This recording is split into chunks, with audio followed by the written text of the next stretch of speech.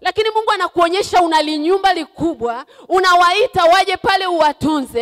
Wewe unasema hivi vitu vitakuwaje? Katikati ya uwepo wa bwana ile picha inayotokea ndio hiyo ambayo sasa inakutaka uanze kutembea katika imani na kusema imani ni kuwa na hakika na mambo yatarajiwayo bayana ya mambo yasiyowezekana. Kwa sababu tu picha niliyoiona nikiwa kilindini ndio hiyo nitakayotembea nayo mpaka mwisho. Sitembei na picha ambayo ninaiona nikiwa ninatembea natembea na picha ambayo niliona nikiwa nimezama kilindini. Ninatamani mtu mmoja atweke kilindini.